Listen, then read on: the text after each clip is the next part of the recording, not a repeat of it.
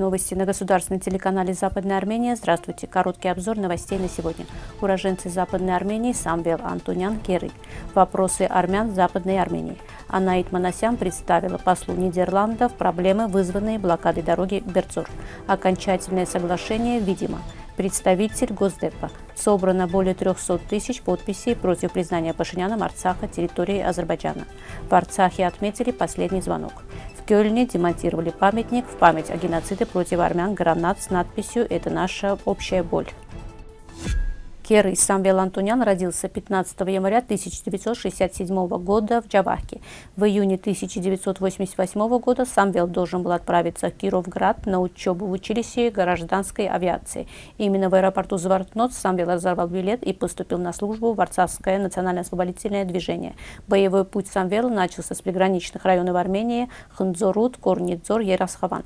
Каждый раз перед тем, как пойти в бой, он пел песню Керри, за что его друзья прозвали почетным именем именем Керри. 9 января 1991 года Керри выполнил свое последнее задание. В Арцахе должен был родиться ребенок, беременную женщину нужно было перевести из Харци в Гиши. У села Карадаглу автомобиль попадает в засаду азербайджанцев.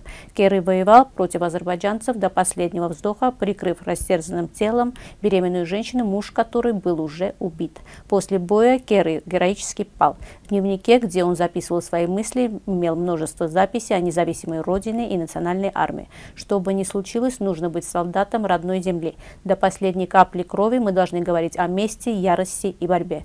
Для чего нужна наша сила, если не для защиты нашей нации, нашей земли, нашей чести? Защищать честь Арцаха значит думать о нашем очаге. По свидетельству одного из очевидцев геноцида армян, поданного турецкого араба, заместителя главы Харбертской области, впоследствии работавшего в Дамаске, адвоката Фаеза Эль-Гусейна, многих древних армянских рукописей и книг, в том числе страницы, украшенные миниатюрами, были использованы турецкими бокалейщиками в качестве бесполезной упаковочной бумаги. Потери армянских живописей прикладного искусства на территории Османской империи, начиная с гамитских погромов, по сей день были огромными. Опираясь на многочисленные исследования армянских зарубежных специалистов можно найти примечательные примеры наших средневековых рукописей, украшенных миниатюрами, хранящихся в армянских монастырях и церквях, об умышленном уничтожении и присвоении фресок, икон, скульптур, хачкаров и памятников, различных образцов прикладного искусства, что свидетельствует о культурном вандализме, имевшем место в тот период и продолжающийся по сей день. За гамитскими погромами 1894-96 годах последовала массовая резня армян, спланированная и осуществленная многодатурками. В годы После гонения армянского народа и изгнания с исторической родины Султан Гамид правительством Надатурок, а затем кемалическое правительство преследовали цель не только уничтожить армянский народ, но и уничтожить все материальные свидетельства многовековой армянской цивилизации и культуры. Годы гамидских погромов, особенно геноцида, совершенного против армян, необратимые потери понесла наша средневековая архитектура, представляющая исключительную историческую, духовную и художественную ценность. Армянские монастырские комплексы, церкви и культовые сооружения в Западной Армении и других армяно-населенных местностей Константинополя были разграблены, разрушены и сожжены. Под угрозой разрушения также оказался город-крепость Аны, известный в средние века своей величественной тысячей одной церковью. Свидетельством сказанного является письмо от 25 мая советника Мустафы Кемаля Ататурка Риза Нурибей, командующему Восточным фронтом Кязиму Карабекиру в 1921 году, в котором последний призвал полностью ликвидировать все следы армянских памятников города Ани, тем тем самым оказав большую услугу турецким властям. Защитник прав человека Анаит Манасян 25 мая приняла чрезвычайного полномочного посла Королевства Нидерландов в Республике Армения Николаса Схельмерса. Омбудсмен представила гостю вопросы, связанные с защитой прав жителей приграничных населенных пунктов, проблемы, возникшие в результате блокады Бердзорского коридора, вопросы, касающиеся пропавших без вести военнослужащих. Анаит Манасян особо подчеркнула факт агрессии азербайджанских вооруженных сил в отношении машины скорой помощи и медперсонала в приграничном населенном пункте Армении Армении 17 мая, констатировав, что это явное нарушение норм международного гуманитарного права. Говоря о сотрудничестве с Нидерландами, Анаит Манасян подчеркнул важность меморандума о сотрудничестве, подписанного с Институтом либеральной политики 3 ноября 2022 года, согласно которому стороны осуществляют программу «Борьба с разжиганием ненависти во имя установления плюрализма мнений и толерантности в демократическом обществе». Финансируемую правительством королевства.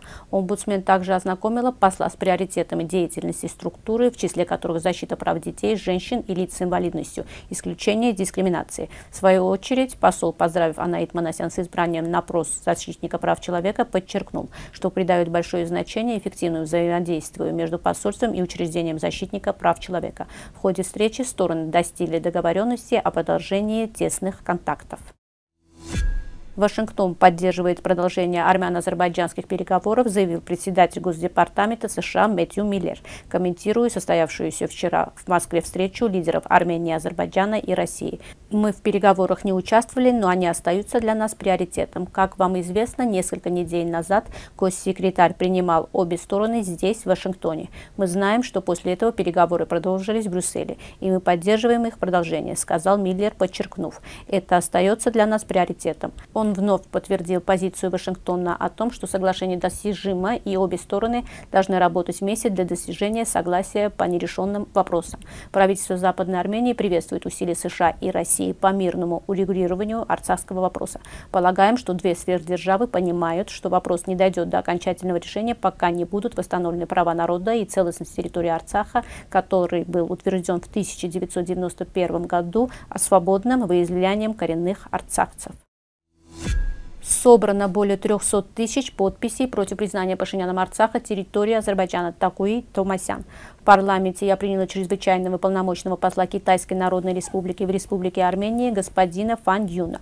Обсудила проблему безопасности Армении и Арцаха. Как очевидец рассказала о напряженной обстановке в Сотке, обстрелах, вследствие которых у армянской стороны имеются жертвы, о том, что дважды была обстреляна машина скорой помощи и что 800 работников Сотского золотого месторождения до сих пор находятся в вынужденном простое. В беседе господином послом упомянула итоги состоявшейся в Брюсселе трехсторонней встречи Мишель Пашинян-Алиев, отметил, отметив, что Пашинян признал территорию Советского Азербайджана с Арцахом и его составе, в то время как в настоящее время это государство не существует, а современный Азербайджан не является правоемником Советского Азербайджана. Подчеркнула, что решение Верховного Совета Республики Армения от 8 июля 1992 года гласит считать неприемлемым для Республики Армения любой международный внутригосударственный документ, в котором Арцах будет указан в составе Азербайджана. Следовательно, в случае подписания любого подобного документа к нему будут серьезные претензии претензий с точки зрения легитимности. Рассказала о ходе и результатах инициированного мною сбора подписей под лозунгом «Нет этнической чистки Арцаха».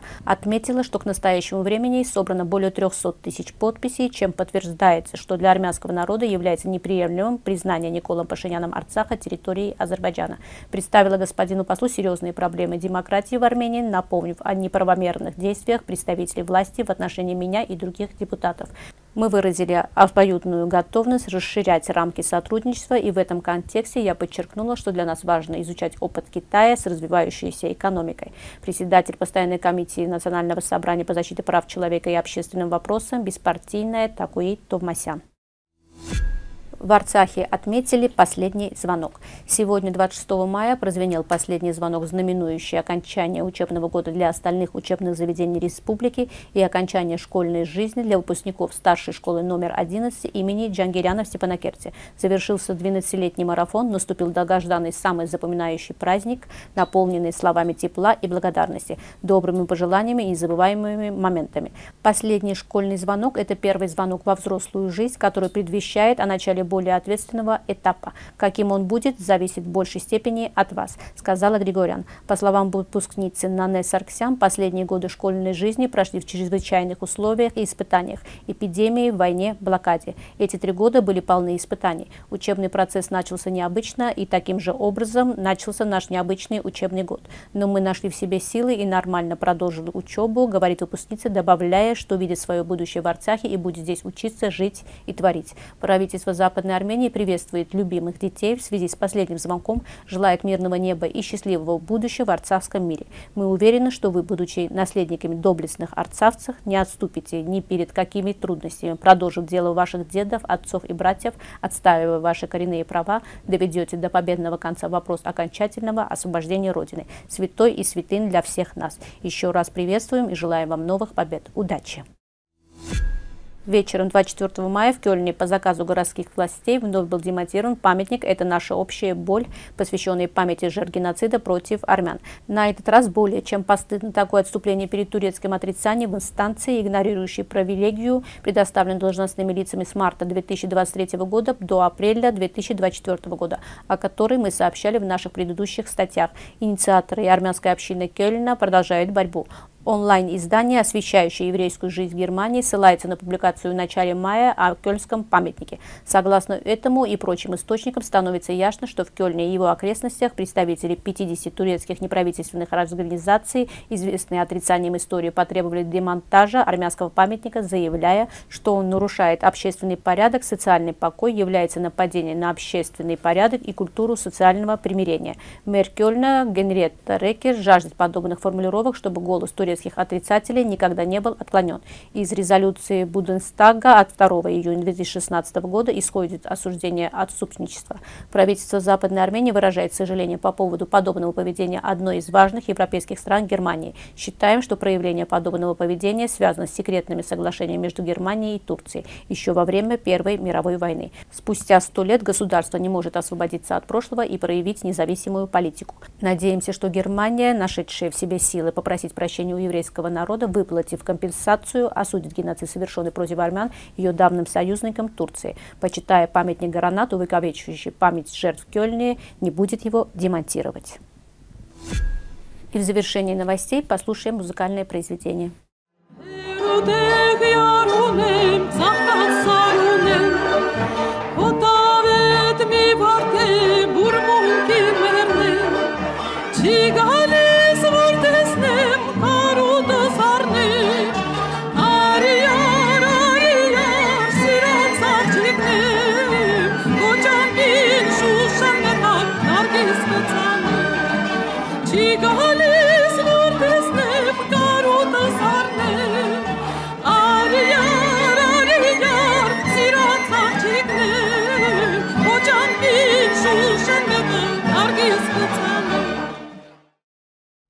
Такими были новости на сегодня. Всем мира и добра.